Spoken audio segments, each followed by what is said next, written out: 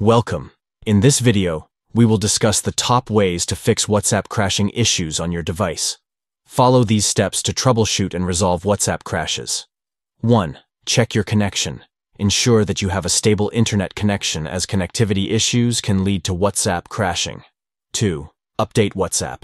Make sure you have the latest version of WhatsApp installed from the App Store to address any bugs or compatibility issues causing crashes. 3. Restart your phone. A simple device. Restart can help refresh the system and resolve any temporary glitches affecting WhatsApp. 4. Close and reopen. WhatsApp. Force close the WhatsApp app and reopen it to clear any background processes causing crashes. 5. Free up storage space. Insufficient storage on your device can impact app performance, including WhatsApp. Clearing up space can prevent crashes.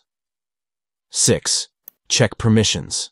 Verify that WhatsApp has the necessary permissions enabled on your device to function properly. 7. Background data. Enable background data for WhatsApp in your device settings to ensure the app can operate smoothly in the background. 8. Enable or disable VPN. Adjust your VPN settings as using a VPN may sometimes interfere with WhatsApp's functionality, leading to crashes.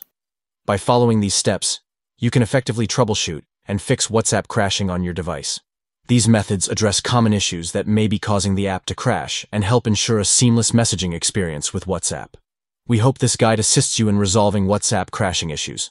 Thank you for watching.